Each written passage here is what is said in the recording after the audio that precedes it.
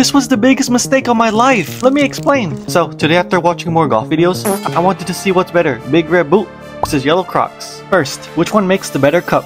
And when I poured it into the boots, it lost no liquids at all. The Crocs lost some liquid when I poured it in the prime, but I was still able to drink it. Big Red Boots win this round. Next, which shoe can hold my balls? The yellow Crocs was not able to hold my balls at all, but the big red boots was a master at holding my balls. Now, which one makes the better boat paddle? When I used the big red boots, water kept going inside the shoe, but the yellow Crocs actually made me move a little, so the yellow Crocs win!